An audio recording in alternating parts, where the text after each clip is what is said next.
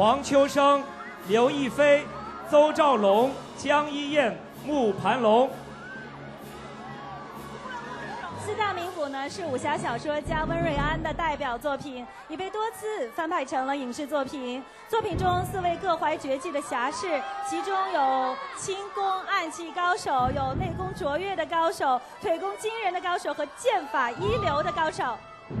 欢迎各位主创人员来到签名版签名留念。